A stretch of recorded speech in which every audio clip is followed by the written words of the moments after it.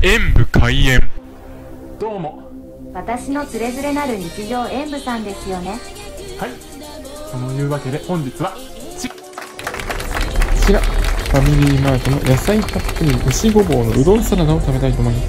うーん、パスタサラダはよく聞きますけど、うどんサラダって初めて聞きますね。あとラーメンサラダっていうのもあったか。うーん、それだとはまた違うのかな。野菜たっぷりという響きも気になりますね。それでは。チャンネル登録よろしくお願いしますはい、準備できました。では、確かに野菜たっぷりですね。では、いただきます。